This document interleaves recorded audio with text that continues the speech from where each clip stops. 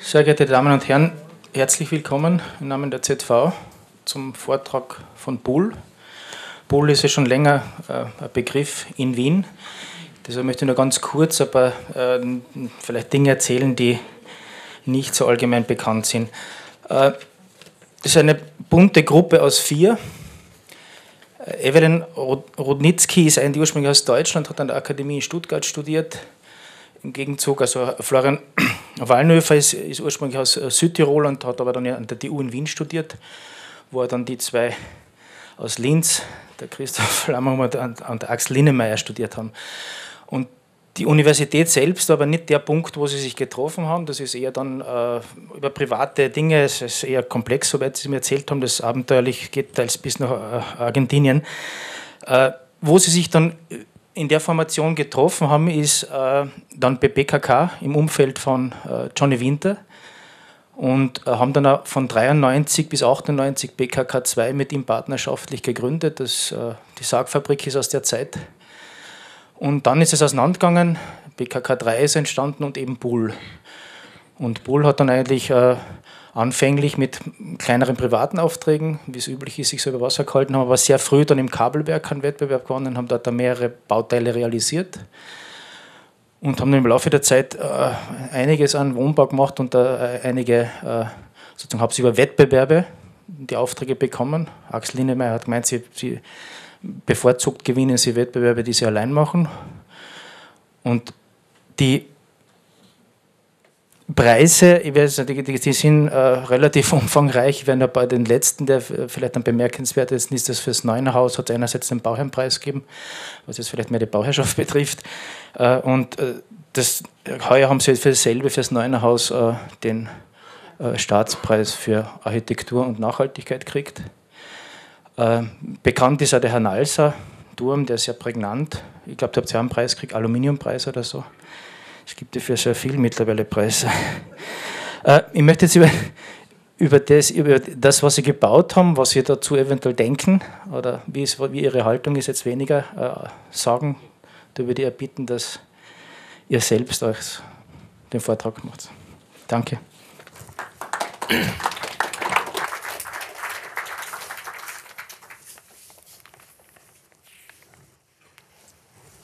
Probier es einfach. Können, können du bist schon. Gut. Schönen guten Abend. Danke für die Einladung, danke fürs Hiersein. Wir zeigen heute nicht unbedingt ähm, nur aktuelle Projekte oder Projekte, an denen, an denen wir derzeit äh, im Büro arbeiten, sondern einen kleinen Querschnitt über die letzten 20 Jahre. Es ist unerlässlich, die Geschichte, auch die eigene, immer wieder neu zu schreiben, im Blick zurück Neues zu entdecken oder Überflüssiges einfach zu vergessen. Die eigenen Projekte und deren Inhalte mit zum Teil großem zeitlichen Abstand neu zu lesen und kritisch zu hinterfragen, inwieweit sie für ein weiteres Tun noch Bestand haben. Das heißt, die Projekte, die wir zeigen, unterliegen jetzt nicht einer chronologischen Reihenfolge, sondern sind eher mit thematischen Zusammenhängen verbunden. Das heißt, wir haben sehr viel reflektiert in Vorbereitung des Vortrags. Sie müssen aber nicht eine Familienaufstellung erwarten. Beim ersten Projekt äh, geht es auch sofort wieder um die Geschichte. Das heißt, wir haben gemeinsam mit Manfred Schenekel äh, eine Ausstellung kuratiert und auch die Ausstellungsgestaltung gemacht. Äh, da geht es um die jüngere Wohnbaugeschichte von Wien, sprich äh, die Gemeindebauten zwischen 62 und 75. Ich glaube, es war die, die letzte Veranstaltung im mittlerweile abgerissenen Harry Glückbau in einem fantastischen Raum, das ehemalige Papierlager im Untergeschoss. Wir haben äh, in der Ausstellung äh, Wohnsiedlungen eigentlich aus dem 21. und 22. Bezirk, aus 60, 60 bis 70 äh, präsentiert, wo wir versucht haben, mit, mit Hilfe von zeitgenössischen Fotografien, mit Filmen einen unverstellten Blick auf die Siedlungen jener Zeit zu machen, die Qualitäten in Erinnerung zu rufen.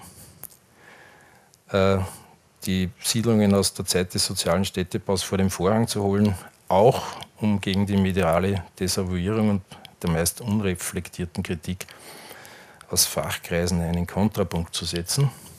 Die Fotografen haben ganz unterschiedliche Ansätze gehabt. Die Hertha Hurnaus hat sich den Siedlungen eigentlich in erster Linie aus den parkähnlichen Grünräumen genähert. Der Stefan Ohler hat eigentlich sehr, sehr abstrakt eigentlich nur auf die tatsächlichen Architekturen fokussiert. Und der Wolfgang Thaler hat sich eigentlich den Siedlungen von außen genähert und ihre städtebauliche Einbindung dokumentiert. Die, Entschuldigung, die vierte Künstlerin war Melanie Hollaus, die in eine 12 Meter breite Dreikanal Videoinstallation präsentiert hat, in der sie einen Bogen gespannt hat von historischen Informationsfilmen über Alltagssituationen der Bewohnerinnen jener Zeit bis hin zu den aktuellen Zuständen in den Siedlungen. Im Sommer darauf haben wir dann in einem eigens errichteten Pavillon noch die Ausstellung einmal wiederholt in der Bezirksverstehung im 22. Bezirk. Ja, über das äh, Objekt in der Rathaustraße, das äh, kommen wir zu einem unserer Wettbewerbbeiträge äh, arbeiten. Und äh, man kennt es, äh, also wir haben es vorher gesehen, es steht ja dort jetzt der Harry Glückbau, ein, ich sage mal, ein kleines Monster, nicht ganz unsympathisch, aber auch nicht wirklich sympathisch. Äh, wurde inzwischen schon abgebrochen. Es war ein Wettbewerb für ein Stadthaus. Stadthaus bedeutet äh, Bürohaus mit äh, zusätzlichen Nutzungen, vor allem im Erdgeschoss, Geschäfte, äh, Restaurant und ein Supermarkt im, im Untergeschoss. Äh, die Situation war ja folgende: Es, war ja im, es hat eine Studie gegeben dort, was man dort errichten kann, was sinnvoll ist. Es äh, wurde auch reflektiert, dort eventuell ein Hochhaus äh, hinzubauen. Uns war eigentlich von Anfang an relativ schnell klar, dass ein Hochhaus dort nicht den Platz haben sollte. Also es ist nicht der Ort, um da irgendwas in die Höhe zu treiben.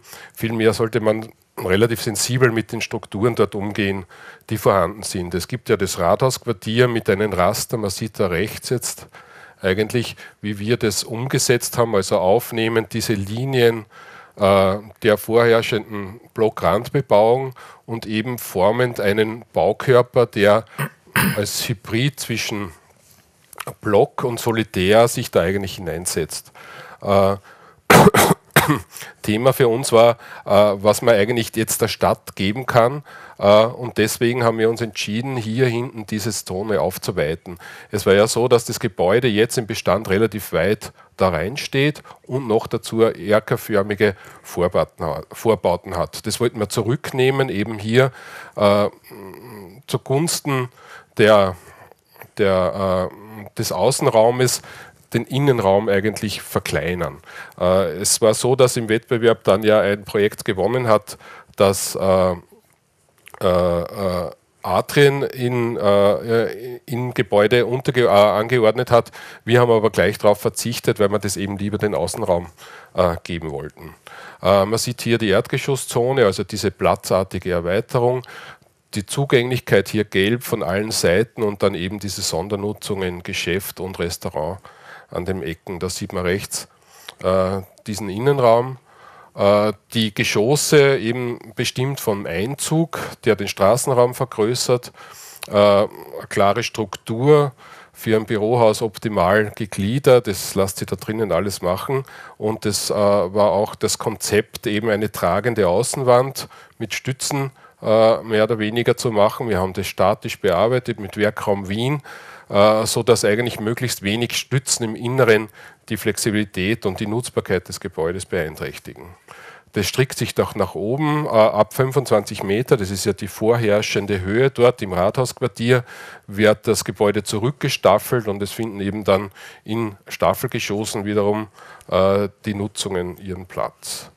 Da sieht man, wie das dann von außen ausgesehen hätte. Gewonnen hat ja ein anderes Projekt äh, mit einer zweigeschossigen Sockelzone, die eben verschiedene Richtungen aufnimmt und vor allem äh, dem Gehsteig und den Straßenraum Platz gibt. Darüber kommen dann die, die Wohngeschosse eben mit dieser Stahl, äh, die Bürogeschosse mit dieser Stahlbetonkonstruktion und dann staffelt es sich zurück.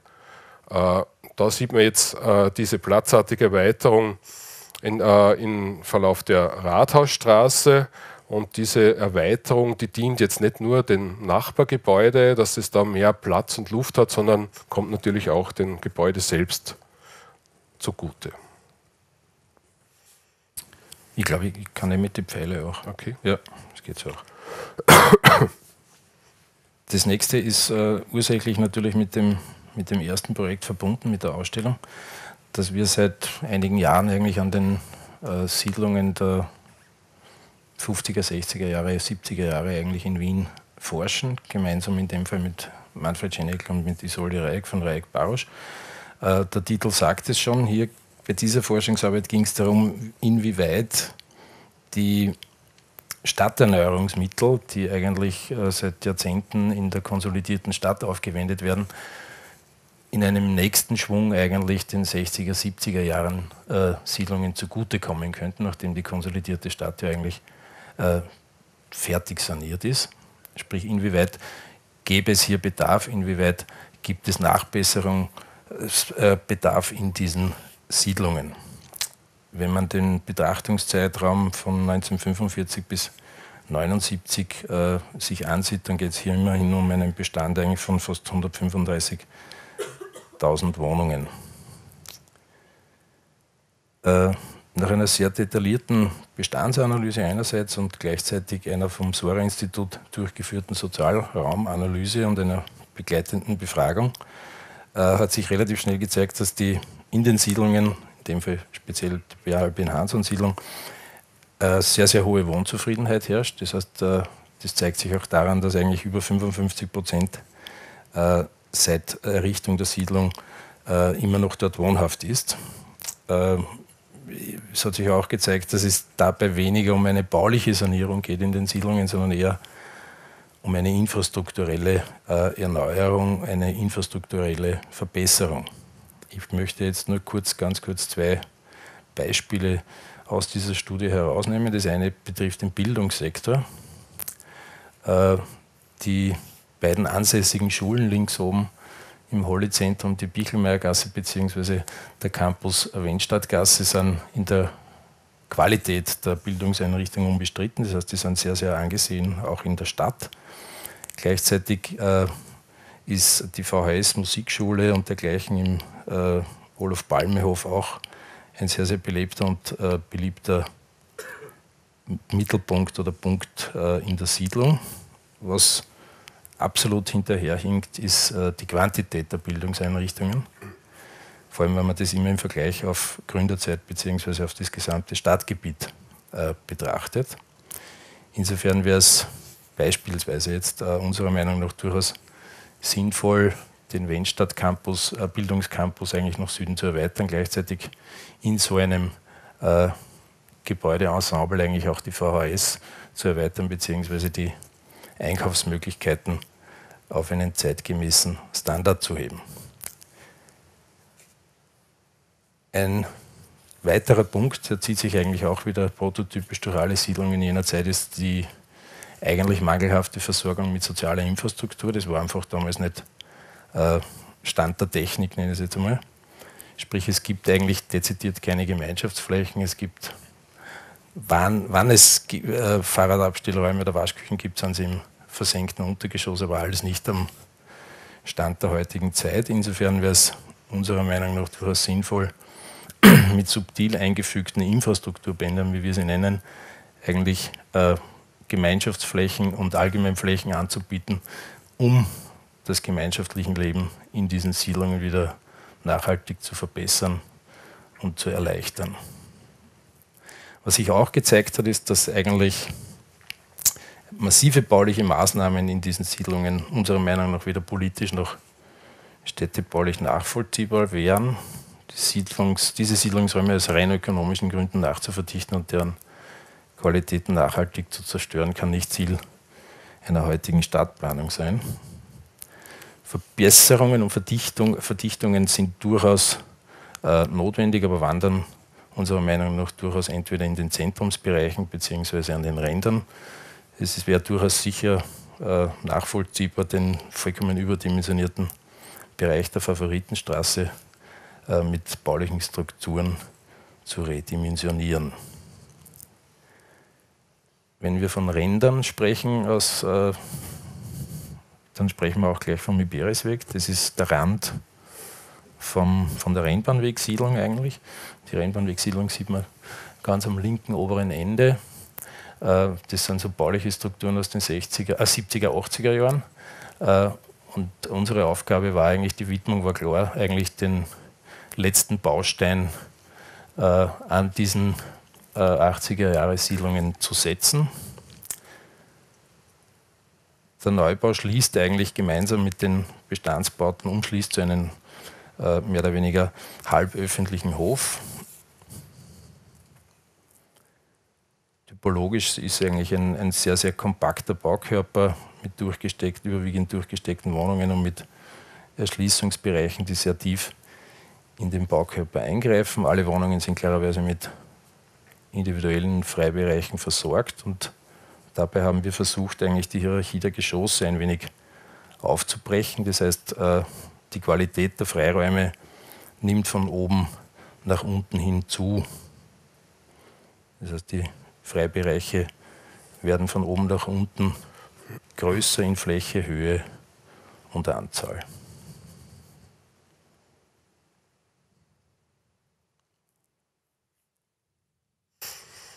Äh, ja, einer der äh, Bauträgerwettbewerbe, die wir gewinnen konnten, so wie äh, Werner vorhin sagte, machen wir besonders gern Wettbewerbe, wo wir keine Gegner haben. Das war einer, wir konnten ihn gewinnen. Helmut Wimmer hat damals vor der Jury-Sitzung gesagt, wir können uns nur selber schlagen. Es ist uns nicht gelungen. äh, Ganz alleine waren wir aber nicht. Äh, es war äh, eine Zusammenarbeit mit Patricia Zacek, Architektin, und mit Gerner Gerner Plus. Es waren neun Einzelobjekte äh, städtebaulichen Ordnung zusammengefügt. Jeder der Architektenteams hat drei Gebäude bearbeitet. Vielleicht zum Wettbewerb. Es war ein Wettbewerb, der unter dem Thema Wohnsicherheit ausgeschrieben war und äh, es hat einen Bebauungsplan geben, gegeben, der eigentlich im vorderen Bereich diese 1, 2, 3, 4, 5 Einzelhäuser schon vorgesehen hat. Äh, Im nördlichen Bereich jedoch eher eine geschlossene Bebauung, also ein Baufenster für eine langgezogene Gebau Bebauung äh, vorgesehen hatte, um eben den scheinbar den, den, Lärm dieser Straße für die Wohnquartiere, also von, den Wohnquartieren abzuschirmen. Äh, bei der Besichtigung war es gleich klar, dass diese Gerersdorfer Straße nicht jetzt der Verkehrsträger ist, der da eine große Belästigung für die hinteren Quartieren darstellen würde. Und vor allem war uns das äh, äh, äh ganz fremd, eben diesen vorderen Bereich durch eine so eine zeilenartige Bebauung da von dem hinteren abzutrennen. Deswegen äh, das Übernehmen der vorderen Struktur auf die hinteren Baukörper und eben diese Anordnung von neuen äh, Gebäuden.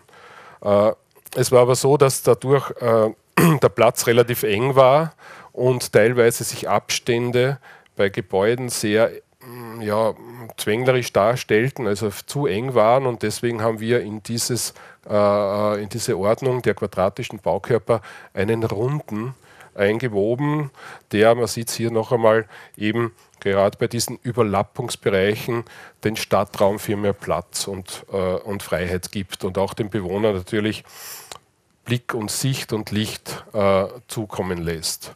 Äh, man sieht hier diese drei weißen Gebäude, das sind die von uns geplanten, äh, zwei über rechteckigen Grundriss und dieser runde. Thema war ja dort auch eben wie schon erwähnt, die Wohnsicherheit. Wir haben das eigentlich so aufgefasst, dass wir äh, das natürlich nicht im technischen oder sonst irgendwie äh, Equipment da sicherstellen wollten, sondern einerseits eben diese freie Einsichtbarkeit der Außenräume, das Anheben der äh, Erdgeschossniveaus und eben kein, äh, kein Anordnen von von Eigengärten, sondern diese Außenräume sind eben der Allgemeinheit zugänglich, also zugänglich oder kommt der Allgemeiner zugute und wird nicht besetzt von jetzt irgendwelchen äh, ja, Kleingartenbetrieben äh, und Zäunen mit Hecken. Äh, man sieht hier das eckige Gebäude, das runde Gebäude hat natürlich einen Sonderstatus dort eingenommen. Wir haben lange überlegt, wie man es eigentlich erschließt. Es war dann irgendwie relativ schnell klar, dass man in ein rundes Gebäude auch von unten reinkommen muss, um das nicht im Erdgeschoss zu zerstören. Äh, man sieht hier jetzt der Eingang, man kommt in diesen, äh, äh, die Traktive war natürlich relativ groß und deswegen entwickeln sich die Wohnungen da rund um ein rundes Atrium. Man sieht es hier, äh, es ist geschossweise, sind die, äh, die, diese Erschließungsgänge versetzt, also haben unterschiedliche Tiefe.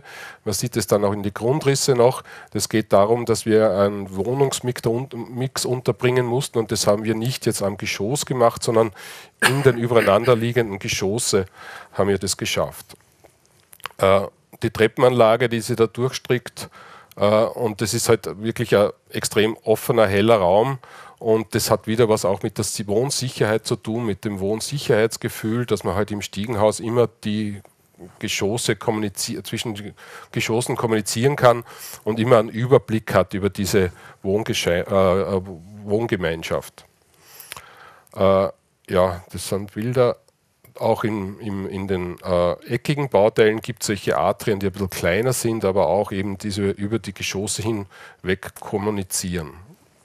Äh, speziell bei dem runden Gebäude ist eigentlich äh, die Grundrisstypologie vorher schon angedeutet. Das ist eigentlich was, was uns bei, bei vielen unserer Wohnbauten irgendwie beschäftigt, nämlich äh, was man den Wohnungen noch zusätzlich geben kann, aber natürlich vor allem aus der Situation heraus. Man sieht hier jetzt äh, ein,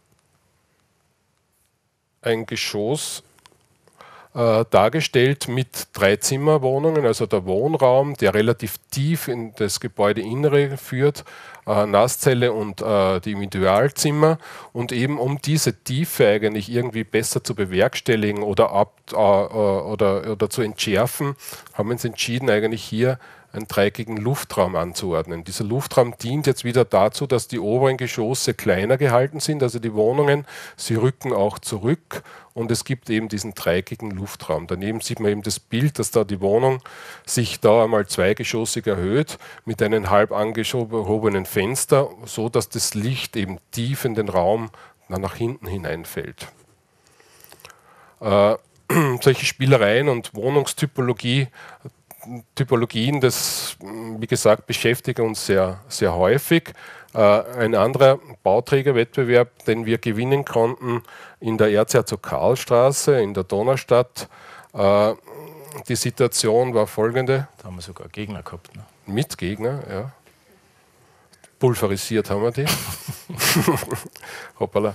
Äh, Entschuldigung, ich drücke mal falsch. Äh, die Situation war der folgende, dass wir äh, eben an der Erzherzog Karlstraße eine Straße vorgefunden haben, die extrem verkehrsbelastet ist. Das heißt, dass äh, hier in diesem langgestreckten Baukörper, wo die Straße davor fährt, äh, eine extreme Lärmbelästigung war. Zusätzlich war es so gegeben, dass hier aber die Südseite des Gebäudes ist.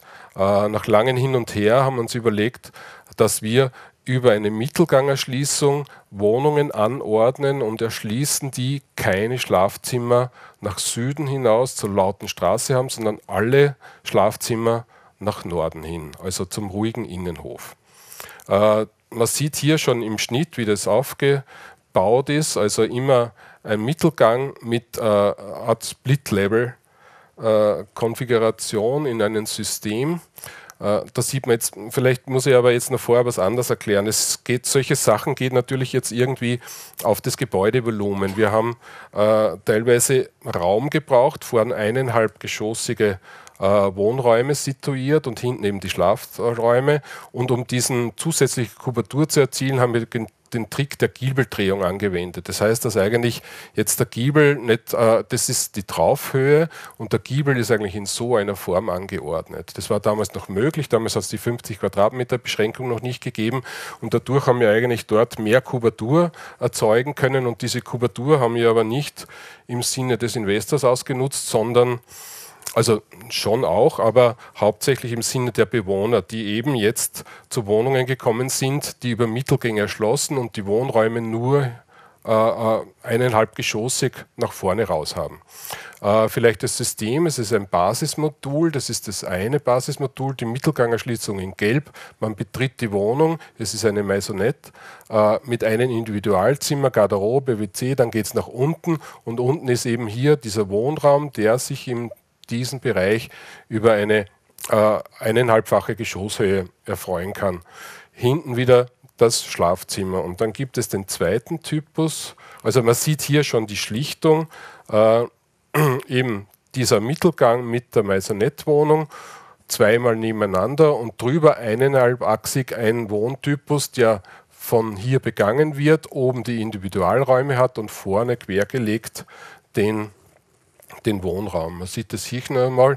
Äh, Mittelgang, Eingang in einen äh, abgesenkten Bereich. Man kommt hoch, Wohnraum eineinhalb geschossig, dann geht es hoch auf diese Empore, wo, der, wo die Küche situiert ist und hinten zwei Individualzimmer.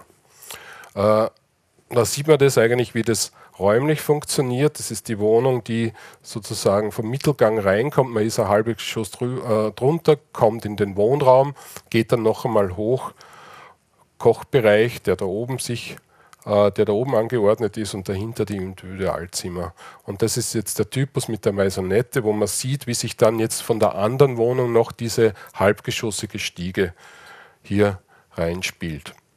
Das System wurde dann noch weitergeführt. Der lange Mittelgang ist natürlich schon auch ein Problem. Die Stiegenhäuser sind so angeordnet, dass da immer Licht hineinkommt in die Mittelgänge, beziehungsweise da, wo es nicht notwendig, äh, möglich war, äh, werden sie von, äh, wird es von oben belichtet. Aber diese Länge war uns dann doch zu lang und deswegen hat man das noch mehr ausgenützt und hat da eigentlich äh, eine Wohnung bisschen angehoben, keine Nutzfläche verloren. Das heißt, dieser eigentlich quergelegte äh, Wohnraum kriegt noch einmal eine Anhöhung. Die, der Essplatz ist oben bei der Küche und da wird über so eine Art Trichter das Licht zum Mittelgang. Man sieht das jetzt von innen. Da zeichnen Sie natürlich jetzt wieder diese Treppen der, der Wohnungen ab und äh, man sieht wieder das Licht hereinkommt in den, in den Mittelgang. Stiegenhäuser sind auch ein Thema, das wir immer sehr gern bearbeiten, da eben Licht von oben, auch Materialität, Farbe, das ist immer äh, eine spezielle Herausforderung für uns. Ja, und dann vielleicht noch kurz zu den, zum Erscheinungsbild. Die Lodgen, eineinhalbgeschossige Lodgen hier angeordnet. Und äh, beim Wettbewerb waren das Pflanzentröge, deswegen auch dieser Zickzack ursprünglich, um eben diesen Pflanzentrögen die natürliche Bewässerung zu, äh, äh, zukommen zu lassen. Äh, Pflanzentröge sind weggespart worden und das Zickzack ist geblieben. Ja, so steht es von der anderen Seite da und dann kommen wir vielleicht, weil es typologisch ganz gut passt, zu einem weiteren Wohngebäude, auch im 22. Bezirk in der Oberndorfstraße. Äh, man sieht hier eigentlich wieder der gleiche Trick mit dieser Giebel. Fläche dadurch Kubatur erzeugt, die dann eigentlich den Wohnungen zugutekommt. Nämlich in hier in dieser Form, es ist ja fast wie ein Spännertypologie. Äh, man sieht hier die Stiegenhäuser, vorne mehr Spänner, dann eigentlich ein halber Spänner mit einem angesetzten Laubengang mit Maisonette-Wohnungen. Und ausgehend von dieser äh, Erschließung der Spendertypologie entwickeln sich hier Wohnungen, die immer höhere Wohnbereiche haben und niedrigere Individualbereiche. Im Wettbewerb war das 240 und 285, hat sich dann auf 250 und 285 in der Ausführung äh, äh, eingependelt. Man sieht hier, dass eben dieser Wohnraum 285 hoch und dann noch die Treppe hoch, äh, zwei Stufen hoch hat, auf einer 250er Geschosshöhe, wo dann eigentlich die Individualräume angeordnet sind. Die Wohnungen sind durchgesteckt, was uns auch, also wenn möglich, immer äh, machen wir das immer, weil es eben eine ganz andere Qualität hat in der Wohnung, wenn sie zweiseitig belichtet ist. ja. Diesem Projekt hat uns das nur ganz kurz wegen der Typologie, weil es irgendwie ganz eine lustige Typologie ist, hat uns eigentlich die, die Flächenwidmung bzw. die städtebauliche äh, Konfiguration äh, zum Nachdenken gezwungen. Äh, die Widmung hat also vollkommen wirres, polygonales äh, Baufeld ausgewiesen. Vielleicht sagst du kurz hin auf dem Ding. Äh, und gleichzeitig rücken die, das Nachbargebäude extrem nah. Die sind alle extrem hoch und rücken relativ äh, nah an den Gebäuden, an den Baukörper heran. Insofern haben wir dann darauf reagiert und haben gesagt, wir ordnen eigentlich die Individualräume am Ende, am Ende dieses Baukörpers an und stecken eigentlich rund um die Dreispännerschließung äh, die Wohnräume durch und je nach äh, Lage und Situation sind dann vor diesen Wohnräumen auch noch äh, die entsprechenden Lotschen angeordnet. Passt auch in die äh, äh, Typologie, also in, diese, in dieses Thema der Sonderwohnformen oder heute äh, verbesserten oder, oder erweiterten Wohnformen. Äh, Wohnbau Ostareal Otto Wagner Spital. Äh, da hat es ja, weiß nicht, die Geschichte ist vielleicht bekannt. Hier ist ja dieses Gebäude des Anstoßes, die. Äh, äh, wie die errichtet wurde, äh, hat es einen großen Aufschrei äh, in der Anrainerschaft gegeben und in der ganzen Stadt, vor allem weil dann bekannt wurde, dass über dieses sogenannte Ostareal des Otto-Wagner-Spitals, man sieht hier die Kirche im Steinhof, hier das äh, die Pavillons. Äh, da hat es einen Aufschrei gegeben, weil eben bekannt wurde, dass hier in diesem Ostareal ungefähr 700 Wohnungen errichtet werden sollten. Worauf dann das lange durch die Medien gegangen ist. Der Herr Bürgermeister hat es dann sozusagen rückabgewickelt. Äh, und diese Pläne sind in den Reißwolf gekommen. Es, hat sich, es wurde eine Expertengruppe gegründet, die dann städtebaulich überprüft hat bzw. erarbeitet hat, wie mit diesem Ostareal umzugehen ist. Das ist das Ergebnis dieses Expertenverfahrens. Man sieht hier diese 1, 2, 3, 4 oder mehreren Baufeldern quadratisch angeordnet und auf diesen Baufeldern waren unter Rücksichtnahme der, des Baumbestandes, man sieht das hier zum Beispiel, waren die Gebäude zu entwickeln. Es war dort relativ großer oder es ist ein relativ großer äh, dichter Baumbestand und eben diese Bebauung sollte Rücksicht nehmen. Es wurde natürlich auch heruntergezont und es äh, sind anstatt der 700 Wohnungen, jetzt denke ich nur mehr 150 Wohnungen, werden dort errichtet. Dass eine Maßnahme notwendig war oder ist, das ist uns schon bewusst, weil dort eigentlich ja so durch, die, durch das Freie des Areals, so wie es jetzt ist, ein gewisser Wildwuchs stattgefunden hat, der das eigentlich, dieses doch sehr schöne Areal irgendwie zerstört hat. Äh, wir haben da eben zwei, äh, ich will aber jetzt nur kurz gar nicht auf das, äh, auf das Projekt eingehen, sondern eher auf die Wohnungstypologie, die wir dort zur Anwendung bringen. Wir haben eben zwei, diese zwei Gebäude dort in Planung und haben uns wieder jetzt anhand äh, der Grundrisskonfiguration des Freihaltens dieser Zonen für die Bäume, Bestandsbäume, sind wir eben zu einem kreuzartigen Grundriss gekommen, äh, wo sich die Wohnungen äh, übereinander anordnen und äh, eben der Wohnungsmix äh, war dann wieder ein Thema, sodass äh, wir jetzt eben in einem mittleren Geschoss die B-Typen anordnen. Das sind die Kleinwohnungen und darüber gibt es dann beziehungsweise darunter die größeren Wohnungen der C-Typen. Und um, denen Wohnungen, um diesen Wohnungen wieder was Spezielles zu geben, haben wir uns entschlossen, hier diese äh, Geschosse zwei, äh, diese Zonen zweigeschossig, also eineinhalbgeschossig, beziehungsweise das obere um 50 cm höher zu machen, sodass man dann mit einer Treppe gut heruntergehen kann und dann einen höheren Wohnbereich erhält. Das funktioniert sehr gut. Äh, es ist im Bau, also man kann das jetzt schon äh, rohbaumäßig überprüfen und äh, hat wirklich eine schöne Wirkung. So wird sich das Gebäude dann darstellen. Am Anfang war es im Klinker geplant. Das ist leider der Kostenschere zum Opfer gefallen, was wirklich sehr schade ist. Man sieht hier, da war ein Rendering noch zu Zeitpunkt äh, vor der Ausschreibung, wie da in dieser doch sehr dichten, äh, bewaldeten Situation die Gebäude drinnen stehen hätten sollen, also im Klinker. Der Herr Nalser wurde schon angesprochen. Ähm, wir haben noch ähm, wie soll man sagen, nachdem der Verkauf an die neue Heimat äh, erfolgt ist, mit durchaus äh, Vehemenz mit Ihnen diskutiert, ob nicht in diesem Bürohaus auch äh, Wohnungen Platz finden sollten. Vor allem um in der bürofreien Zeit eigentlich auch ein bisschen ein Leben ins Haus zu kriegen und ein Leben in der Stadt, weil das ist so relativ gut sichtbar ist, äh, zu haben. Ähm, insofern ist jetzt von 9, 10, 11, also von den Geschossen 9, 10, 11 sind jetzt, äh, wurden Wohnungen äh, implementiert. Man muss dazu sagen, ist, ich glaube, wir haben schon wesentlich schwierigere Aufgaben gehabt, als an, an so einem exponierten Ort äh, Wohnungen äh, entwerfen zu dürfen. Noch dazu äh, bei einer Geschosshöhe von 3,50 Meter, einer Raumhöhe von 2,80 Meter ist man eigentlich von vielen, vielen Sorgen, äh, die man sonst im Wohnbau hat, eigentlich befreit. Man sieht es hier, relativ geringe Trakttiefe rund um den äh, Hochhauskern und man hat, wie erwähnt, vollkommene Freiheiten, was die Haustechnik oder Wärmedämmung oder sonst irgendwas betrifft. Das heißt, es sind da vier bzw. drei Wohnungen pro Geschoss entstanden, die sich jeweils nach zumindest zwei Seiten orientieren. Die Bäder sind fast alle an der Außenseite und belichtet. Die Wohnräume werden in erster Linie durch tief in den Baukörper gezogene äh, Lotschen strukturiert.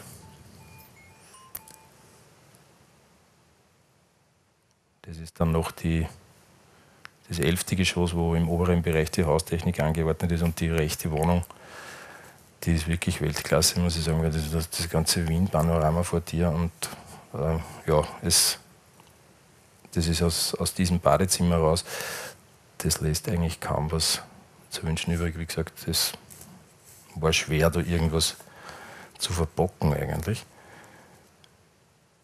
In den Bürogeschossen war für uns eigentlich dann die Herausforderung, wie kann man diesen, diesen klassischen klaustrophobischen Innengang, der klarerweise die Büroräume erschließt, eigentlich verhindern.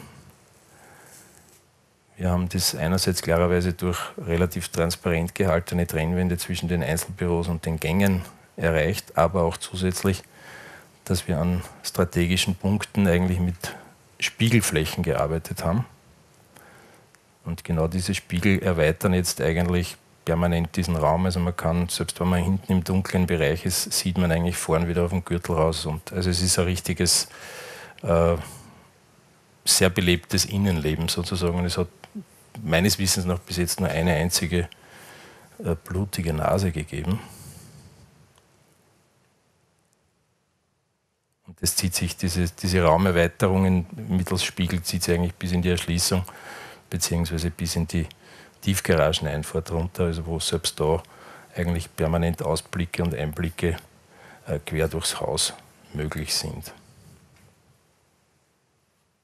Ja, äh, vielleicht noch ein bisschen was zum, Äuß zum Äußeren des Gebäudes. Es war ja dort äh, zu einem Zeitpunkt, äh, also es war ein Wettbewerb, muss man, äh, kann man auch erwähnen.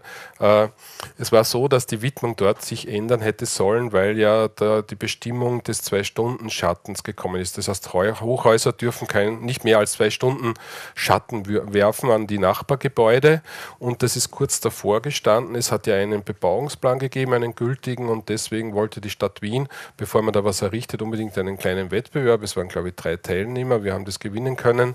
Äh, und äh, es war das Thema, wie man, wie man äh, die Baukubatur, die dort gewünscht ist oder auch im städtebaulichen Plan zulässig ist, also im Bebauungsplan, wie kann man die möglichst schonend eigentlich dort unterbringen. Es ist dann alles über Paragraph 69 eigentlich passiert. Es war so, dass wir die Erker-Kubatur zusammengefasst haben in dieser Zone und da hoch an das Gebäude Richtung Süden angelegt haben, um dann den Belichtung eigentlich dieser, dieser Seitenstraße zu gewährleisten, äh, wurde das Haus dann unter 30 Grad zurückgeschnitten, um dann die Kubatur, die man da verliert, wieder irgendwie hereinzuholen, haben wir dann ab einer gewissen Höhe das Gebäude an den Gürtel, also in den Gürtel rausgeschoben. Dadurch, das war so ein, ein Spiel von Kubaturen, von Abschneiden, Belichtungsbedingungen und natürlich war es auch formal räumlich äh, geprägte Arbeit. Äh, das ist dann rausgekommen äh, und äh, wie, wie, schon erwähnt wurde, war ja der Grundriss so, dass die, der Kern unheimlich viel Platz in Anspruch genommen hat. Es ist ein doppeltes Stiegenhaus drinnen, Druckbelüfter und die ganzen technischen Anlagen. Es bleibt sozusagen nur eine sehr geringe Fläche für die eigentliche Nutzung über. Und um das nicht nur mal zu beeinträchtigen, haben wir uns entschieden, äh, hier eine tragende Fassade anzuordnen. Das heißt, die Stützen in die Fassadenebene zu bringen, nicht in den Raum hineinzustellen, was uns dann eben zu diesem Raster des, der Fassade gebracht hat. Äh, und dann äh, war dann immer die Frage, ob dieser Raster nicht zu hart ist für dieses Gebäude und äh, die Materialität ist dann natürlich, die Frage der Materialität ist dazu gekommen. Wir haben uns dann entschieden, äh, es hat mehrere Versuche gegeben, es war auch, auch Klinker, äh, Klinker sage Fliesenfassade mit kleinen Mosaikfliesen äh, äh, wurde in Erwägung gezogen, was aber dann aufgrund des Hochhauses wieder äh, fallen gelassen wurde und deswegen jetzt diese Aluminiumfassade. Und um diesen Raster, den wir vorher gesehen haben, diesen Gebäuderaster wieder zu brechen, eben eine Aluminiumfassade, die eine Lochung, eine, eine Struktur, ein Muster aufweist, das sich dann aber in einen anderen Rapport, in einer anderen Rasterung mit größeren Abständen über das Gebäude drüber legt und sozusagen noch einmal eine Haut bildet über das Ganze und das Ganze nochmal irgendwo mit einem Moiré-Effekt verrückt. Ja. Konstruktiv ist es so oder technisch ist es so, dass das eine Kassettenfassade ist mit einer schwarzen mm, Blechkassette in der hinteren Schicht und davor ist ein eloxiertes, gelochtes Aluminiumblech äh, mit äh, äh, Schweißnietung angebracht. Äh, das hat auch den Vorteil, oder das haben wir dann ganz gut ausnützen können, weil äh, wir so durch diese Zweischichtigkeit der Fassade auf jede Fensterbank, jedes Attikablech verzichten konnten, weil die Abdichtung bzw. die Entwässerung in die hintere Ebene, also in die zweite Schicht der schwarzen äh, Kassette hineinrinnt.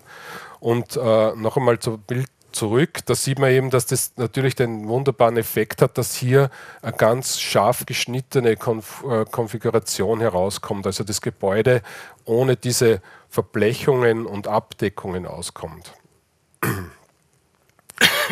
ja, das ist äh, Hochhaus äh, äh, am Hernalser war das und das bringt uns auch weiter zu einem weiteren Hochhausprojekt, das wir in der Schweiz, in Luzern, eigentlich im, äh, im, in der Gemeinde Kriens. Das ist eine Nachbargemeinde von, äh, von Luzern. Man sieht aber hier äh, Zentrum Luzern mit der berühmten Kapellenbrücke, der Vierwaldstätter See und hier eigentlich 10 oder 15 Minuten mit der Straßenbahn entfernt dieses Eichhof-Areal. Äh, ein Wettbewerb, geladener Wettbewerb mit, äh, ich denke, glaube acht Teilnehmern und äh, ja, die Voraussetzungen.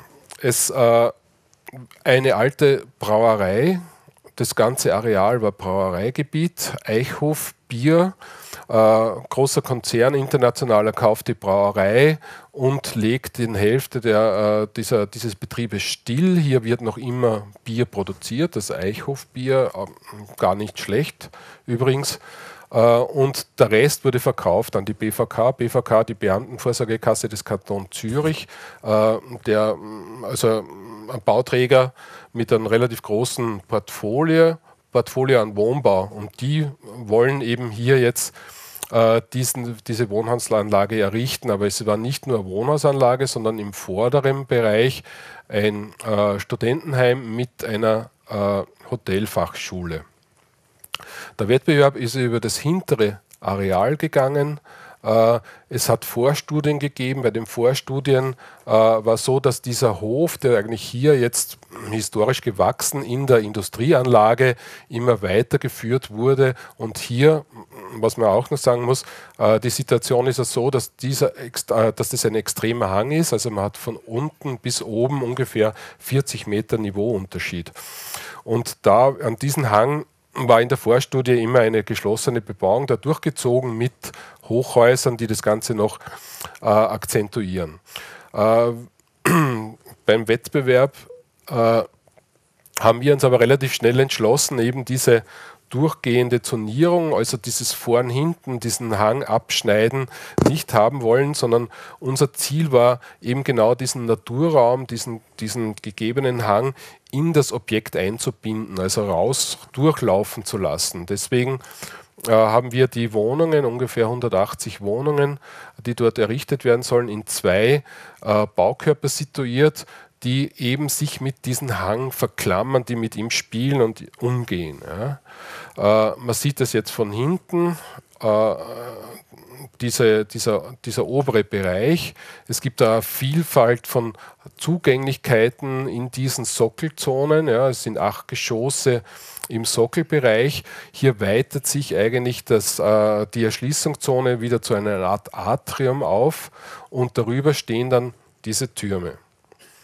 Äh, man sieht da jetzt noch einmal vom oberen Bereich des, dieses Hanges, dieses Dattenberges, äh, die Wohnsiedlung, wie sich da die Türme davor stellen. Es war für uns auch mm, sagen, äh, ein Anlass, dort äh, vor, vor Hochhäusern nicht zurückzuschrecken, weil eben durch diese Topografie, durch diese Anordnung, durch diese landschaftlichen Gegebenheiten das Haus, also die Häuser auch nicht so rausschauen, so wie eigentlich hinten dieses Hochhaus so in der freien Ebene stehen, sondern eigentlich eingebettet sind in die Landschaft.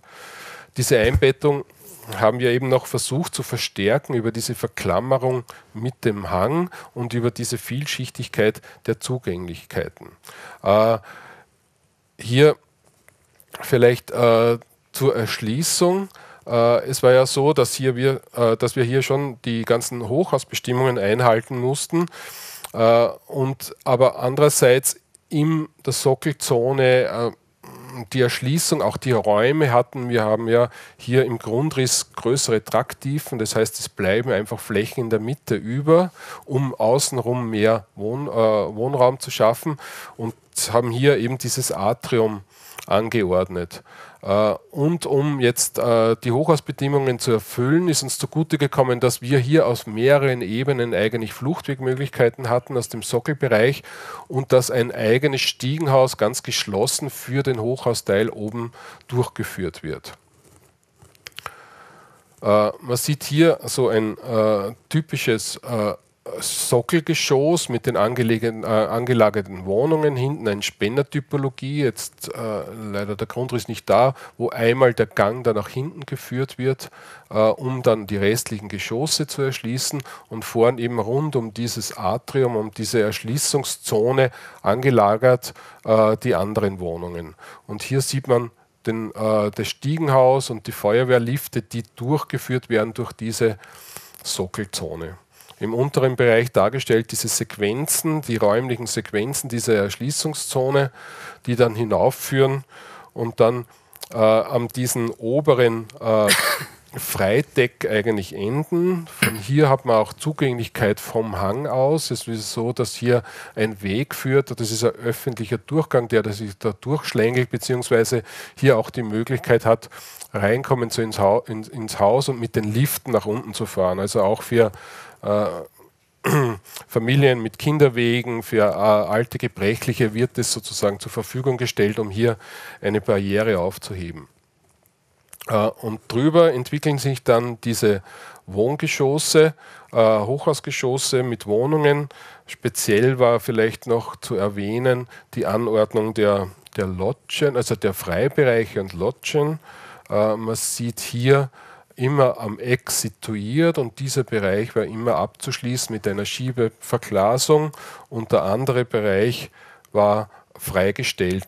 Das, Thema dieser versetzten Lodgen äh, und Freibereiche hatten wir schon bei Gerersdorfer bei den eckigen Häusern entwickelt und sie wurde hier jetzt weiterentwickelt. So hätte sich das Gebäude dargestellt beziehungsweise die beiden. Da sieht man nochmal schön, wie dieser Hang eben durchläuft und da alles, diesen ganzen, der Anlage Raum und Luft gibt. Äh, wir haben dann über ein Jahr am Bebauungsplan gearbeitet, also das, das Projekt verfeinert. Das war der äh, Bebauungsplan, der wurde dann aber von der, vom Gemeinderat leider nicht beschlossen, äh, weil es Anwohner Probleme gab und eine Bürgerinitiative Ja, wobei dann äh, eine ein Projekt, das Projekt überarbeitet wurde, es wurde ein Gremium gebildet, wir waren dann beteiligt bei der Neustrukturierung dieses ganzen Areals. Es ist auch für uns größer geworden dann. Äh, wiederum ein, nach einem Jahr wurde der Bebauungsplan dann dem Gemeinderat vorgelegt. Der wurde dieses Mal einstimmig angenommen, aber wie schon erwähnt, also gezeigt, da hinten ist eine Bewohnerin, die seit diesem Zeitpunkt einen Einspruch nach dem anderen macht. Inzwischen liegt das Projekt beim äh, Schweizer Bundesgerichtshof, also der letzten Instanz, und dieses Jahr, Mitte, Anfang Mitte dieses Jahres sollte der Spruch kommen und dann werden wir sehen, ob es da weitergeht. Ein kurzer Ausflug nach Holland. Dort hat die Stadt Groningen 2007 eine Initiative zur Bebauung von vielen, vielen innerstädtischen Brachen initiiert. Äh, die Stadt ist und war eigentlich offen immer für, für Neues und für, auch für neue Player eigentlich. Insofern haben sie damals äh, ausländische Architekten eingeladen, sich um, um, jeweils ein Grundstück eigentlich Gedanken zu machen. Das, das Auswahlkriterium war eigentlich äh, neben einer äh, großen Erfahrung im Wohnbau eigentlich nur, dass man als Architekt bis dahin äh, in Groningen noch nichts gebaut haben durfte. Äh, das Grundstück liegt direkt an einem Kanal in guter innerstädtischer Lage. Das ist dieses mittlere Grundstück hier.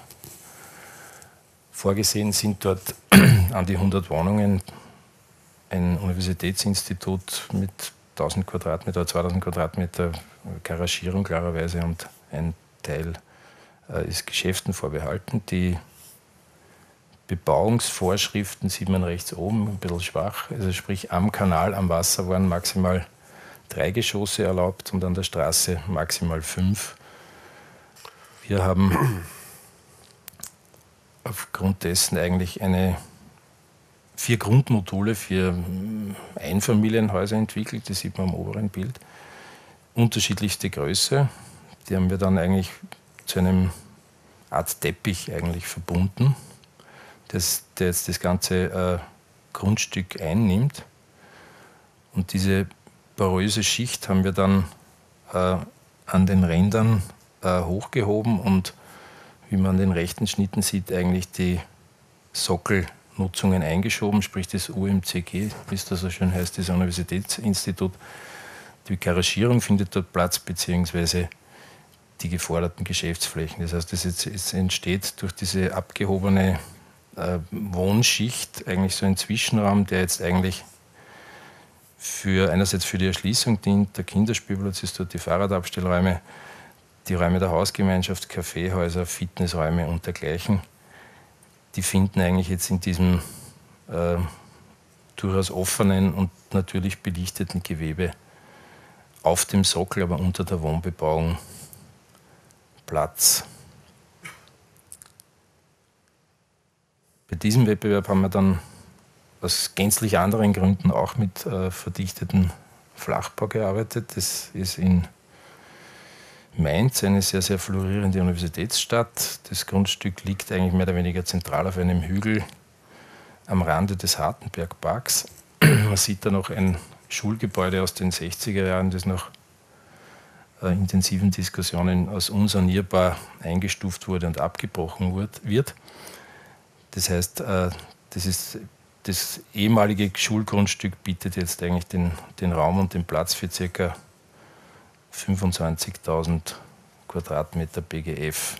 Die umgebende Struktur ist sehr heterogen. Auf der Ostseite des Areals sieht man eigentlich eine sehr, sehr undichte Einfamilienhaussiedlung. Am unteren Bildrand im Süden existiert eine Siedlung aus den 70er Jahren mit Zeilenbauten und relativ kräftigen Türmen. Das Spezielle bei dem Wettbewerb war allerdings, man muss fast sagen, es ist typisch deutsch, äh, dass diese Rechtecke, die da oberhalb vom Grundstück sichtbar sind, das sind Kinderspieleinrichtungen, so eine Kinderseilbahn, Minigolfbahn und so.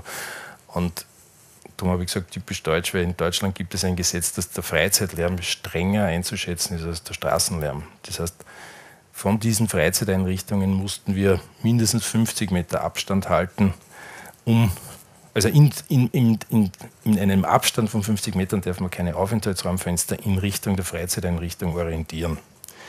Was natürlich schon ein wenig äh, skurril anmutet, aber das hat die äh, städtebauliche Konfiguration natürlich äh, entschieden beeinflusst. Wir haben dort äh, das für uns so ein Leitbild einer autofreien, durchgrünten Stadt äh, entwickelt. Das heißt, äh, die durchaus kräftigen Solitäre, die wir äh, entwickelt haben, nehmen einerseits Bezug auf die 70er-Jahre-Siedlung gegenüber und dünnen sich nach Norden hin aus, werden dort äh, feinkörniger. Die einzelnen Baukörper entwickeln für sich durchaus starke Identitäten, bilden aber durch ihre Stellung untereinander und ihre Ausrichtung eigentlich durchaus ein gesamthaftes Ensemble.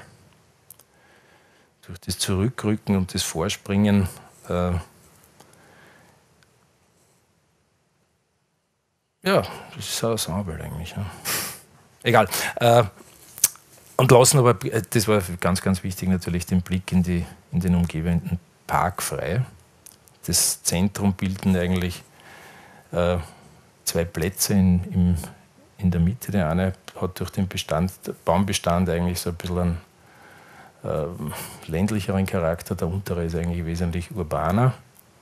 Äh, die Haupterschließung, das sieht man rechts, führt zentral durch die Siedlung von Nord nach Süd und dieser Haupterschließung zugeordnet sind die sogenannten Stadtlodgien, die jetzt in jedem Haus im Eingangsbereich angeordnet sind. Die dienen einerseits natürlich der Kommunikation der Bewohnerinnen des Hauses und andererseits auch äh, der Kommunikation mit allen Siedlungsbewohnern bzw.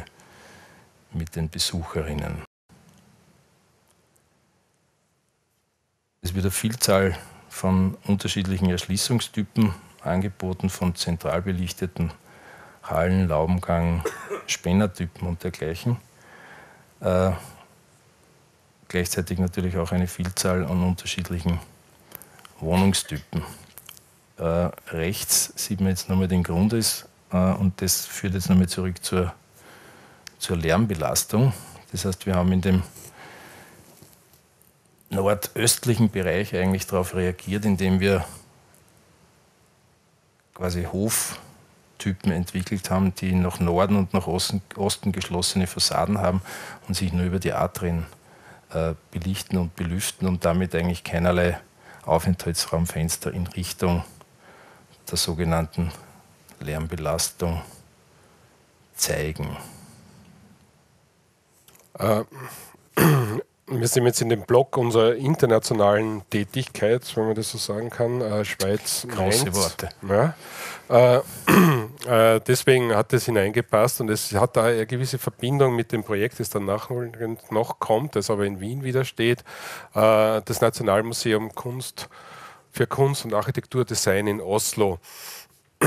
International ausgeschriebener Wettbewerb äh, große Kubatur war dort unterzubringen, ein BGF von 50.000 Quadratmeter. Äh, es ist ein sehr schöner Standort äh, in Oslo, sehr zentral gelegen am Hafen, äh, in direkter Nachbarschaft zum äh, Nobel äh, Friedenszentrum, wo der Nobelpreis immer verliehen wird, beziehungsweise beraten wird, wer wen mal zugesprochen wird hier das Rathaus von Oslo und hier eigentlich links, jetzt nicht im Bild, die neue Oper. Äh, es war ein Wettbewerb, der auch relativ stark äh, äh, städtebaulich geprägt war. Äh, wie gesagt, eine relativ große äh, äh, Kubatur dort unterzubringen, bei der Voraussetzung, dass eigentlich keine Tiefgeschosse oder nur ein Tiefgeschoss errichtet werden darf, wegen Wasser, wegen anderen baugrundlichen Bedingungen. Äh, das Raumprogramm war äh, zu, zu einem großen Teil natürlich diese Ausstellungsfläche mit allen äh, äh, Nebengeschichten, die da notwendig sind, aber auch äh, äh, ein Drittel fast für Depoträume. Äh, was uns jetzt eigentlich vor das Problem gestellt hat, wie man hier diese Kubatur unterbringt. Und wir haben folgenden Weg gewählt. Also was ich noch vergessen habe zu sagen, es war auch gewünscht, dort eine Art Platzsituation zu schaffen, also von dem äh, Nobel-Gebäude äh, abzurücken und rund um das Gebäude eine großzügige Platzlandschaft äh, zu erhalten. Äh, wir haben das äh, versucht auf folgende Weise zu erreichen, nämlich dass wir ein Gebäude aufgestellt haben in einer Art äh, dreidimensionalen Raumnetz, wo wir in den unteren Bereichen Kubatur weggenommen haben in diesem Bereich, um eben diese umspielende Platzsituation zu erhalten und nach oben hin dann auskragend die Depotgeschosse untergebracht haben, die sich hier verbergen und drauf wieder eigentlich ab einer gewissen Traufhöhe, wo die Stadt sozusagen ihre Höhe, ihre grundsätzliche Höhe hat, wieder zurückzurücken, um auch jetzt die Belichtung der, der Nachbargebäude nicht zu beeinträchtigen, aber das Ganze eigentlich auch nicht zu mächtig und zu groß erscheinen zu lassen. Da hat sich eben diese Konfiguration ergeben. Es war wie eine Art Tetris-Spiel der Funktionen, die sie da übereinander stapeln. Und äh, man sieht hier jetzt die Eingangsebene, also vom rundum freigespielten Platz, die Abstände hin zu diesem Gebäude, betritt man eben jetzt die Eingangshalle, hier gelb äh, gekennzeichnet, kommt zu den Liften und zu einer Rolltreppenanlage, die den Besucher einmal in das vierte Obergeschoss hinaufleitet.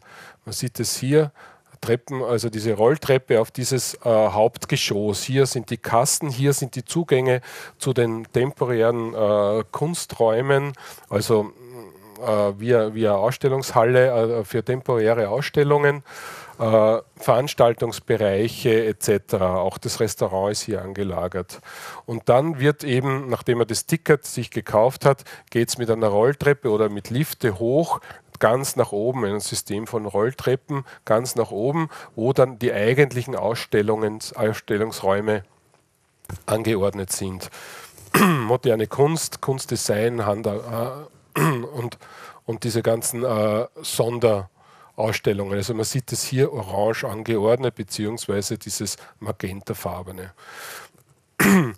äh, beim Weg zurück eben dann über eine Promenade Verzeihung, äh, kommt man wiederum an diesen äh, Depotbereichen vorbei, beziehungsweise an anderen angelagerten Nutzungen, die wieder für die Öffentlichkeit äh, bestimmt sind und die Depots sind auch als Art Schaulager ausgebildet, sodass man eigentlich jetzt auf den Weg wieder zurück immer äh, äh, äh, Kontakt hat wieder zu neuen Ausstellungsbereichen. Teilweise erweitert sich dann diese gelbe allgemeine Zone hin ins Freie, bildet eben Bereiche, Terrassen, wo dann Skulpturparks etc. Äh, situiert sind. Das ist jetzt das oberste Geschoss äh, mit Licht von oben, wo es dann weitergeht, noch einmal in die äh, Designausstellung und dann beginnt eben ein Weg nach unten bei den einzelnen Ausstellungsnutzungen oder Ausstellungsbereichen vorbei. In einer Art kaskadenartigen Struktur wird das Gebäude durchwoben und führt eben dann zurück zu diesem Hauptgeschoss. Da sieht man eben dann so diese einzelnen Geschosse, wie die Nutzungen angeordnet. Gelb immer diese, diese, diese Hauptbewegungszone von unten bis oben durchblickbar und immer links und rechts seitlich erweitert mit eben äh, Verbindungen zu Außenbereichen, zu Ruhebereichen etc. Und so strickt sich dann eben dieser, dieser Trajekt durch das Haus durch, bis man wieder unten ankommt und das Gebäude verlässt. Äh, zusätzlich zu den äh, Nutzungen, die da eigentlich äh, äh, Ausstellungsnutzungen sind natürlich noch die ganzen verwaltungstechnischen Sachen äh, notwendig, Büros etc. Äh, hier das Restaurant, also die, die, die, die Kunsthalle, Restaurants und äh, es ist auch deswegen unten dieser öffentlichere Bereich gelegt, um eben ohne dass man jetzt in das große Gebäude hinein muss, unten die Zugänglichkeit von der Straße ja für diese temporären Nachtveranstaltungen etc. zu haben. Ja, die Verbindung ist dann, glaube ich, jetzt gar nicht so leicht, Christoph. das sind Geschwister, die zwei Häuser. Es ist zwar vielleicht ein wenig kokett, ein, ein Nationalmuseum mit einem Obdachlosenheim in Verbindung zu setzen, aber ich glaube, sie sind äh, in der Struktur und in der Typologie eigentlich trotzdem äh, verwandt. Ich möchte eigentlich bei dem Neunerhaus eigentlich nur auf, auf, ganz kurz auf einen Punkt, wir sind glaube ich eh schon, äh, einen Punkt herausgreifen eigentlich und das, äh, das ist ein Alleinstellungsmerkmal und das ist die Wettbewerbsausschreibung des geladenen Wettbewerbs gewesen. Der Verein Neunerhaus hat an selber Stelle eigentlich vorher zwei Zinshäuser gehabt, dann haben sie gesagt, sanieren geht nicht, also Abbruch, also Wettbewerb. Und der hat in diesem Zusammenhang einen, mit intensiver Einbindung der Bewohnerinnen eigentlich ein, ein Raumprogramm entwickelt, so, so, Zielsetzungen für den Neubau. Äh, und das war insofern speziell, weil es nicht so eine klassische ein klassisches Raumprogramm war, wo penibel jeder Raum aufgelistet ist und die Zusammenhänge zwischen den Räumen und wie das alles zu funktionieren hat, sondern es war vielmehr so, so eine verbale Beschreibung, wie man das Zusammenleben organisieren könnte im neuen Haus. Also wie arbeiten wir miteinander, wie wohnen wir miteinander, wie können wir das strukturieren. Und genau diese eigentlich einerseits sehr präzise und gleichzeitig sehr, sehr vage Beschreibung war eigentlich dann für uns der architektonische Freiraum, wie wir das äh, Projekt entwickelt haben. Ich möchte nur einen Punkt herausgreifen und das äh, ist aber ganz entscheidender, nämlich dass das Zusammenleben im, im Neunerhaus entgegen vielen anderen solcher Einrichtungen eigentlich sehr auf Freiwilligkeit und Toleranz basiert. Das heißt, die Betreuung geht von einem ganzheitlichen, akzeptierenden Ansatz aus das, ist die, setzt die Freiwilligkeit und Zustimmung der Bewohnerinnen voraus. Das heißt, die sozialarbeiterische Betreuung findet nicht nur an genau definierten Orten, zu genau definierten Zeitpunkten statt, sondern wird nach dem individuellen Bedarf der Bewohnerinnen geleistet. Heißt konkret, dass die Betreuung nicht nur an, in den Beratungsbüros, die sie im Erdgeschoss an der unteren äh, Fassade nicht nur dort im Sozialstützpunkt stattfindet, sondern am Gang, im Stiegenhaus, im Lift, in den Gemeinschaftsbereichen, in der Wohnung, beim Basteln, im Café, im Hof und bei Festen und und und.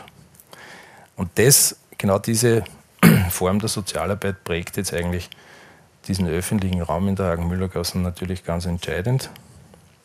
Dieser Raum ist neben hervorragenden Wohnungen das zentrale Element und bildet eben zurück wieder auf das Nationalmuseum, eigentlich so eine Art Promenade, die sich vom Untergeschoss bis eigentlich ins Dachgeschoss hinaufwindet.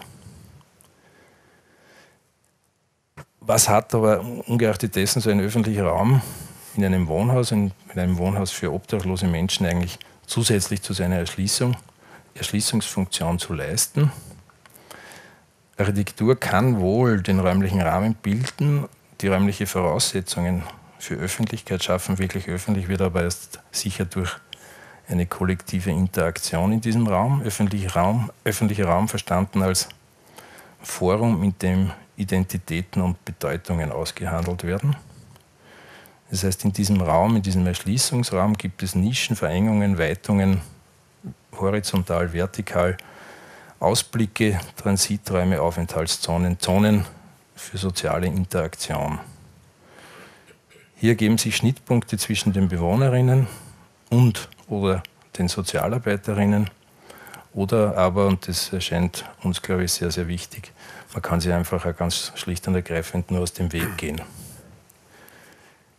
Hier kann man sich in halböffentliche Bereiche zurückziehen oder aber sich der Öffentlichkeit aussetzen.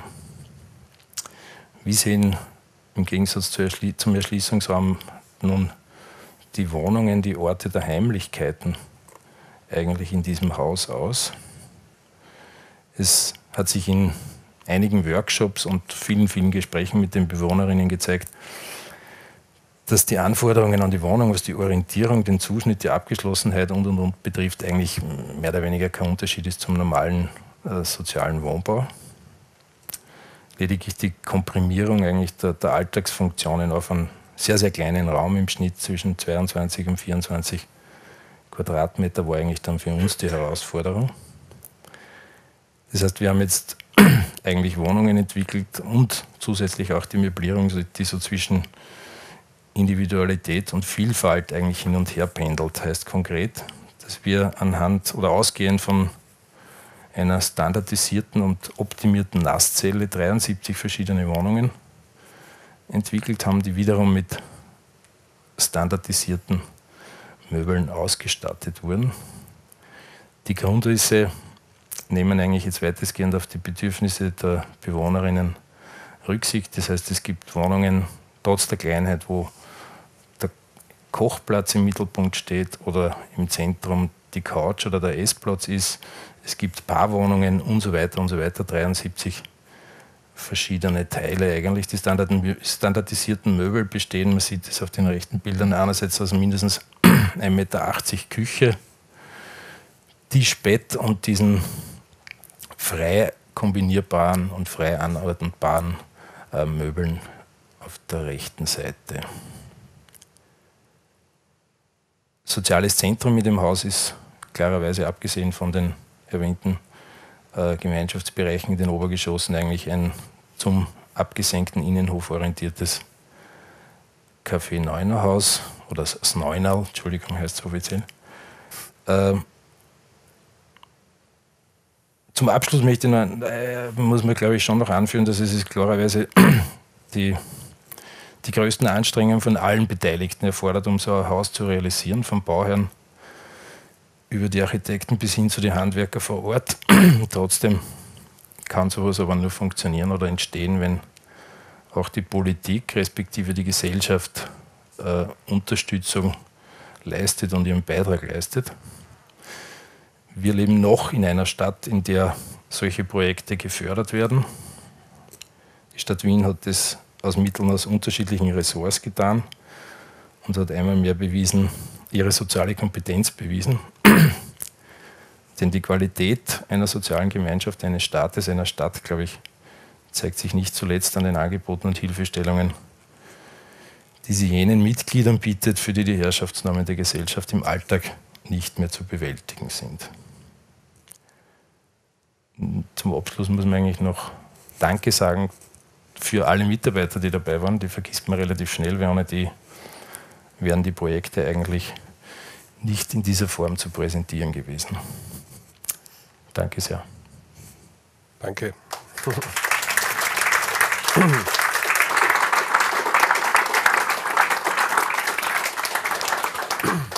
Ja, vielen Dank. Äh, Evelyn und Florian, kommt es ja vielleicht raus bei der Diskussion, dass ihr zumindest zu viert seid? Zum, zu Aus der bisherigen Erfahrung weiß ich nämlich, dass ihr euch nie einigt und jeder was anderes sagt.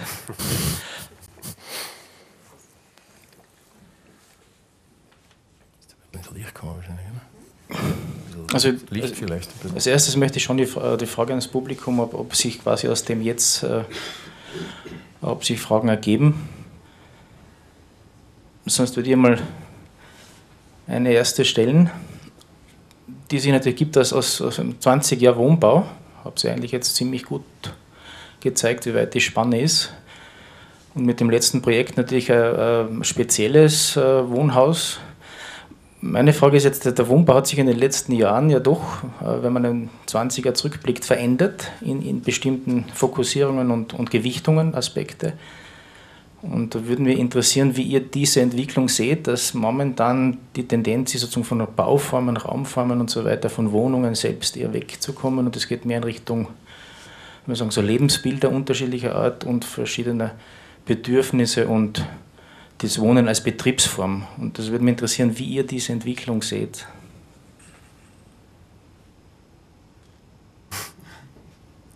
Wer will was sagen? Ähm, also ich, ich glaube schon, also dass die wenn man sich das ansieht, das Kabelwerk war ziemlich so, das eines der ersten Dinge, wenn das jetzt 20 Jahre, 16, 17 Jahre zurückliegt, äh, hat es eigentlich einen ziemlichen Aufschwung gegeben, sage ich jetzt einmal im Positiven. Und jetzt geht es eigentlich wieder komplett in die andere Richtung. Ich weiß nicht, ob du jetzt anspielst auf unsere gestrige Diskussion, dass man äh, heute als Architekt wahrscheinlich besser lebt, wenn man Hufi Fluffi lustig ist eigentlich und weniger konkrete äh, Innovationen bringt, sagen wir es mal so. Und die, glaube ich, werden immer schwieriger. Das glaube ich auf jeden Fall. Das ist, ist, verbreiten wir schöne Bilder, verbreiten wir lustige Bilder, das ist leichter zu verkaufen wie eine konkrete, reale Innovation, glaube ich. Das ist jetzt ungefähr. Hast du das gemeint?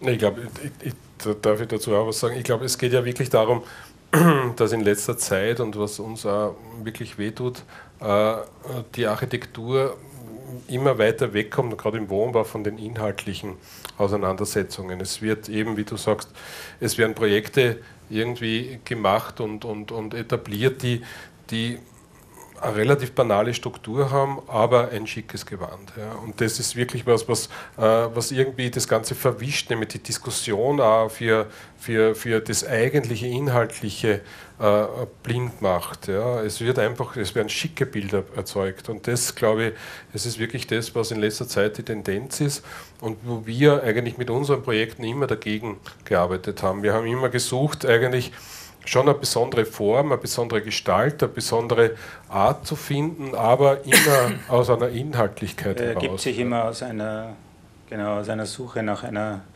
nach einer Lebens, äh, wie soll ich sagen, also nach einer lebensnahen, also nach einer Architektur, die, die sozusagen mit der Wirklichkeit und mit dem Leben. Und, und äh, das Gefühl ist schon, dass sozusagen diese diese modischen äh, Kaschierungen eigentlich dazu dienen, eben diesen Rückschritt, der eigentlich weggeht sozusagen von der Auseinandersetzung mit dem, mit dem Leben und sozusagen mit der Architektur, das, das zu kaschieren, ja, dass es so eine Gegenbewegung ist in letzter Zeit. Sehr, sehr gern eben auch mit Räumen. Ne? Also für uns ist immer die, der Erschließungsraum ist ein sehr interessanter Raum, den man jetzt bei fast allen Projekten so die wir jetzt präsentiert haben, sieht man, dass der immer was anderes und immer was Besonderes hat. Und derzeit äh, stellen wir fest, dass die Projekte, die jetzt nicht von uns, sondern was man sonst so viel sieht, realisiert werden, dass äh, dieser Erschließungsraum zurückgestutzt wird. Es gibt eben nur noch äh, die, den Treppen, also die, die Stiegen und die Lifte. Und es fehlt eigentlich so dieses Gemeinschaftliche in dieser Erschließung, was uns immer sehr, sehr wichtig war. Also es wird sehr reduziert, es wird alles immer kleiner, die Wohnungen werden smarter und offensichtlich auch die Stiegenhäuser werden smarter. Und da geht dann schon sehr viel äh, Qualität insgesamt verloren, also für die Bewohner. Das wäre schade, wenn die Entwicklung sich dann noch. Und die Räumlichkeit, bis jetzt, die Räumlichkeit oder die, die Faszination am Räumlichen ist natürlich das Ganze furchtbar. Aber auf was würdet ihr meinen, dass das zurückzuführen ist? Also warum gibt es jetzt quasi diese diesen Wechsel? Ist es der ökonomische, ändern sich die ökonomischen Bedingungen, ändern sich die Gewichtungen politischer Natur oder woran liegt es eigentlich? Glaub, oder, oder sind andere Gewichtungen quasi innerhalb der Architektenschaften von der Thematik?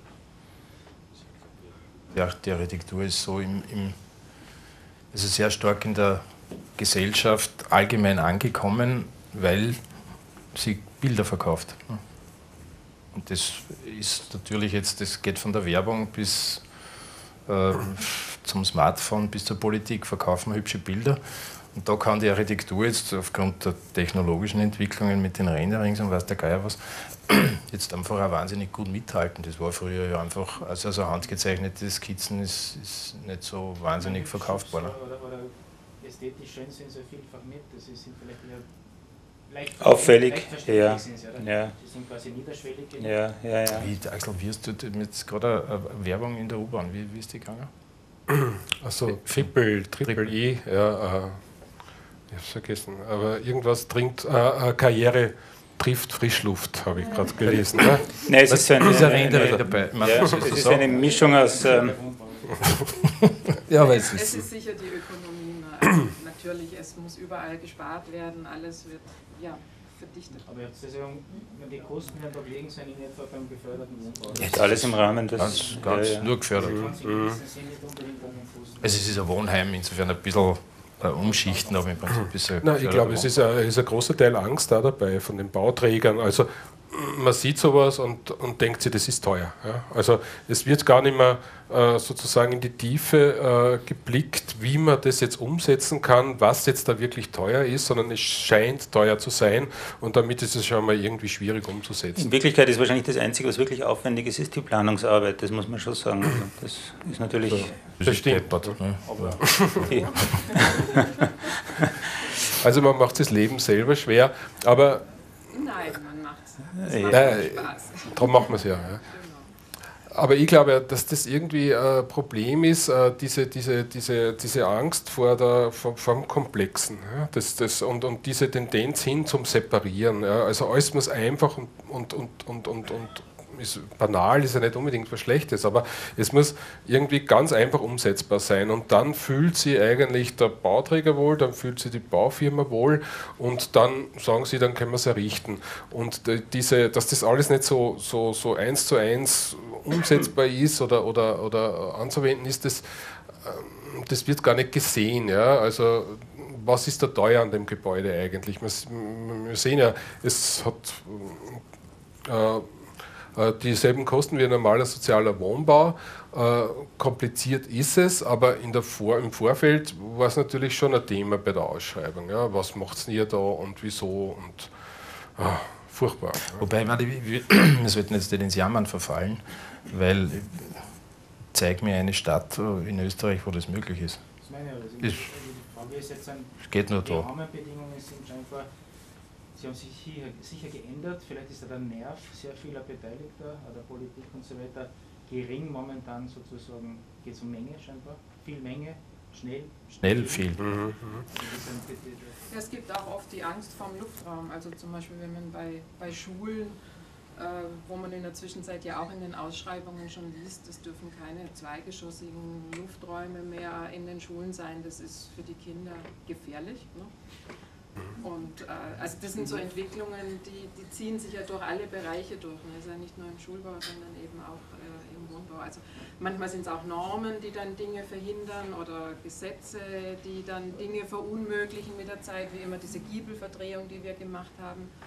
Bei manchen Projekten weiß nicht, wie ihr das jetzt, aber es gibt in dem Sinn vielleicht einen Paradigmenwechsel, dass bis jetzt die Regulierungen oder die, die normativen Sichtweisen sich be beschränkt haben auf technische Aspekte.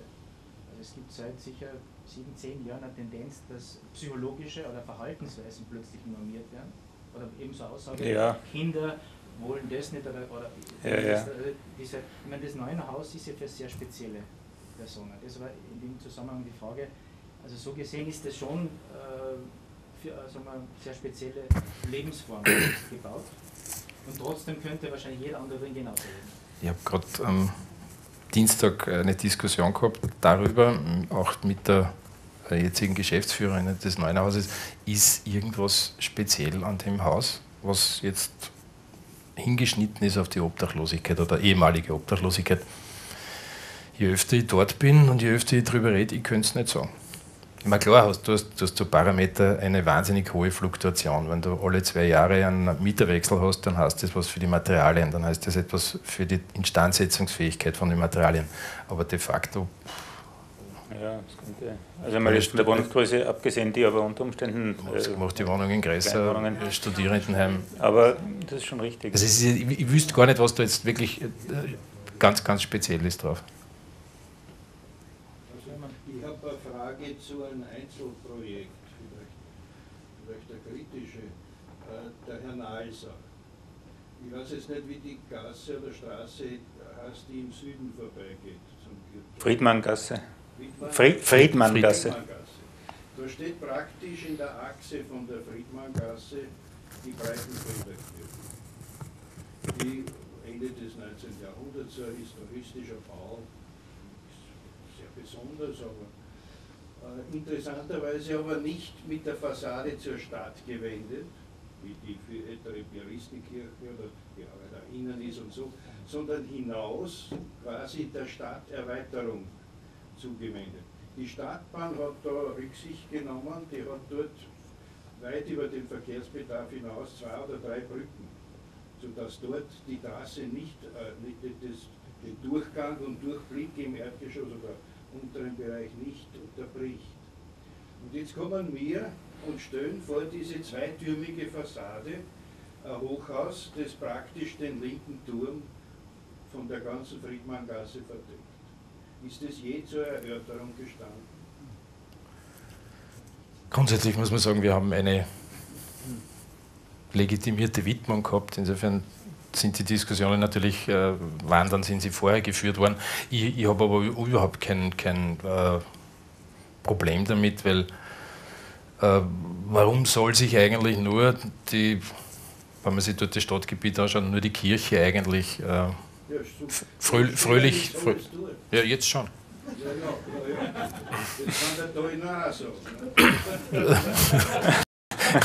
Es, wird, es wird immer wieder auf das hinausla hinauslaufen, weil es ist lustig, wenn man auf der Terrasse von mir steht und da den Blick äh, stadtauswärts wendet, da gibt es nur mehr das Schwesternhaus bei Endstation Otterkring und sonst produziert sich dort in erster Linie eigentlich die römisch-katholische Kirche. Warum? Ja, du tun wir den einen Turm verdecken, das ist eine Maßnahme. Naja, das war jetzt nicht der Haupt. Das ist der Anfang. Der, Von der anderen Seite verdeckt der Turm in Hernals. Also, ich meine, das ist genauso eigentlich eine Frechheit. Ne? Also, naja, war vorher da. naja, das ist eben die Frage, ob das jetzt immer. Ja. Aber im Prinzip war die Diskussion, wie wir eingestiegen sind, war es natürlich nicht. Wie die, ich nur an ein härteres Beispiel. Äh, jedes Kind, das im Westen von Wien aufgewachsen ist, weiß, dass man von der Josefstädter Straße den Stephansturm sieht.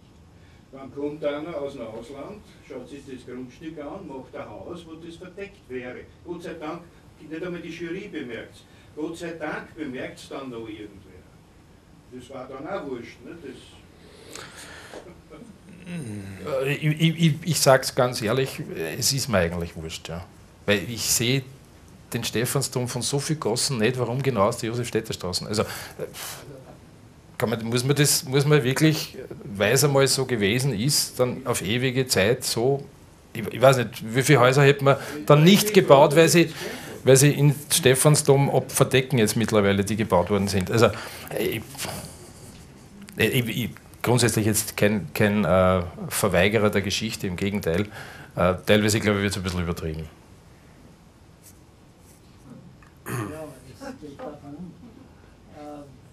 soll das Privileg haben, hinauszuschießen. Irgendwer, der Cash hat? Nee, nee. Oder? Aha.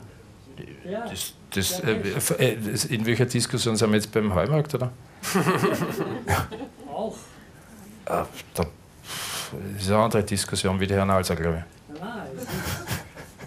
Sonst bin ich vollkommen bei Ihnen, dass da wahrscheinlich nicht unbedingt ausreichend äh, diskutiert wurde, beziehungsweise äh, heute gerade wieder sehr publik, äh, Alternquartier, dass teilweise wahrscheinlich äh, Dinge in der Stadtplanung passieren, die vielleicht nicht passieren sollten. Ja.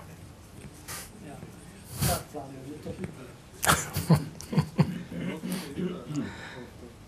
mein, betreffend der Blickpunkte kann man vielleicht auch leiten im, im Zusammenhang, Hermann, du kennst die Aussage, im, mit der Kunsthalle und mit der Karlskirche quasi verstellt jedes Haus in Wien den Blick auf die Karlskirche. ist nur die Frage, wo man steht. Äh, aber es ist durchaus natürlich interessanterweise immer wieder bei diesen Blickbeziehungen. Der Canaletto-Blick ist ja legendär. Gott sei Dank hat er nicht in die andere Richtung geschaut. Äh, könnte man jetzt sagen, für manche Investoren. Das Canaletto-Blick gibt es nicht mehr, aber da, ist ja im Profil der Artikel gestanden äh, von, von Griesemann, von Stefan Griesemann, Canaletto blickt hier nicht mehr. Ja, aber die Anleger von dem Turm, die schauen in der Gegenrichtung aufs Belvedere mit seinen Blumenpaketten äh, und äh, dadurch ist die Außenfront genauso einträglich wie die über die Stadt. Ne? Das ist der Fortschritt. Durchaus, ja. Na, ich weiß nicht, ob man sich da in, in, einer sagen wir, relativ momentan haarige Diskussion verstrickt. Äh, ich würde eher wieder lieber zurückgehen auf das, was ähm, ihr irgendwie verursacht oder was die Substanz eurer Arbeit ist. Und ähm, ich glaube, dass momentan prekärer nicht einzelne sagen wir, kleine Brände sind, sondern es ist wirklich der Wohnbau. Das eine, was du angesprochen hast, die 50er, 60er Jahre stehen zur Sanierung an. Und da wollte ich noch fragen, wie da, weil du damit beschäftigt hast, welche Überlegungen, Strategien es da von der Stadt gibt, weil sie sehr, teilweise, teilweise sehr wenig dicht besiedelt sind. Oder? Also die Bebauungsmuster sind sehr dünn, wo sich allalong wahrscheinlich schon die Frage gestellt wird, wie in Zürich Ersatz, Neubauten und so weiter. Ähm, du meinst, wie die Haltung der Stadt dazu ist, also der Politik. Ähm, oder was, was ja, ja. Wie, du es einschätzt. Ja. Wie soll man sagen, die, also wir reden da bei den Siedlungen eigentlich plus minus immer von Dichten zwischen 0,98 und 1,2. Ähm, die Haltung der Stadt, äh, ich glaube, es ist eine sehr unkoordinierte, weil auf der einen Seite gibt es äh, einen sehr großen, wie soll man sagen, einen großen Immobilienbesitzer, sprich Wiener Wohnen, die natürlich Ambitionen hat äh, oder auch den Auftrag hat, Wohnraum zu schaffen. Das heißt, da denken sie aber in erster Linie eigentlich immer um Dachgeschossausbauten und dergleichen, auch in diesen Siedlungen. Immer natürlich am Schluss mit der Frage, was bringt es den Bewohnerinnen, die jetzt dort wohnen, weil die Struktur lässt eigentlich keine Barrierefreiheit zu, weil halt außen dazugestellte Lift, Zwischengeschoss und dergleichen kennen wir alles.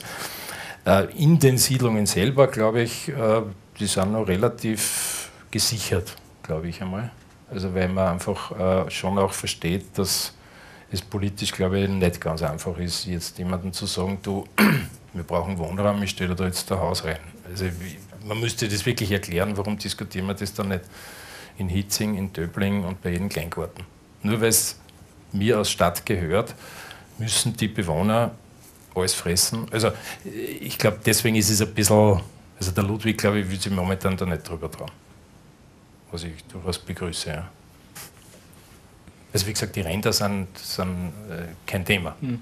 Nein, ich frage das, weil in Zürich ist natürlich die Situation etwas anders es gibt weniger, viel weniger Boden, der zur Verfügung steht. Das, der Großteil gehört den Banken, Versicherungen und so weiter. Wien hat in der Hinsicht natürlich schon unglaubliche Flächenreserven und, oder zur Verfügung für Wohnbauentwicklungen.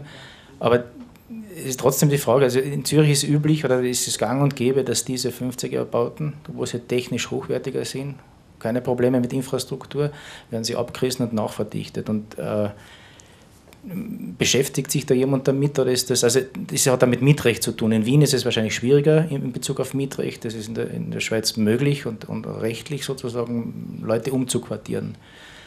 Das heißt, du gehst davon aus, dass diese 50er Bauten so lang 50, äh, 60, 70. 60. Ja. Äh, die sind zu einem, glaube ich, mittlerweile zu, zu 80 Prozent thermisch saniert. Also jetzt beginnt man dann wieder bei den zuerst sanierten, weil da sind halt nur 5 cm draufgekommen, jetzt kommt dann die nächste Stufe. Die, die Wohnungen sind im Prinzip von der, von der Struktur und von der Größe eigentlich sind es wie Smart-Wohnungen heute. Das ist, abs, ab, absolute, absolute Qualität. Und eben, glaube ich, also das, da ist Zürich einfach äh, ein wenig äh, kapitalistischer geprägt, das glaube ich auch. Ne? Also, das sind nicht Gemeindebauten und gleichzeitig was, also reißt was ab und gleichzeitig soll man Wohnraum schaffen. Ich glaube, da, da sind, darum diskutiert das momentan, zumindest äh, meines Wissens noch eigentlich in der Stadt niemand. Bitte, ja. Meine Frage ist folgende. So wie Sie äh, die Häuser konzipieren, müssten Sie eigentlich die, die idealen Architekten für Baugruppen sein. Sinne von maßgeschneidert, im Sinne von äh, gemeinschaftlicher Zugang und so weiter. Haben Sie schon für Baugruppen gebaut? Wollen Sie das oder ist das überhaupt für die, für, die, für die Ursuppe haben wir gebaut, Baugruppen für die, für die Sargfabrik. Äh, wobei man da auch aufpassen muss, weil die Sargfabrik hat insofern auch bis heute, glaube ich, ein Alleinstellungsmerkmal, weil es ein Verein ist und nicht Eigentum schafft. Die Baugruppen, glaube ich, heutzutage machen in erster Linie Produktion von Eigentum. Und das ist die Sorgfabrik nicht, sondern das gehört einem Verein und man zahlt Mitgliedsbeitrag quasi Miete. Und insofern sind die Baugruppen heute sicher ein bisschen anders strukturiert. Es hat uns noch keiner gefragt. Baugruppe. Also Na, wir haben einmal zwischendrin haben wir mal mit einer begonnen und das war dann kurz vor dem Grundstückskauf, dann hat es wieder jemand anders gekauft, das Grundstück. Also es hat sich nie ergeben, aber nicht absichtlich, sondern ist halt so. Die Gemeinde Wien verkauft jetzt ganz günstig äh, Grundstücke um 140 Euro.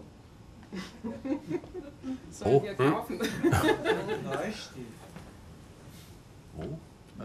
ein Friedhof oder was? Oder was?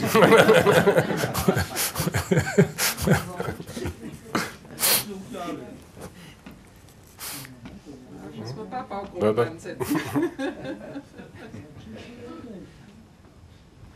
Können wir eine Baugruppe jetzt gründen, ja. Mit dir sicher nicht. Das hätte mich sehr gewundert. ähm, Wenn es sonst keine Fragen mehr gibt, ich glaube, Buffet gibt es wieder, wie immer, ja.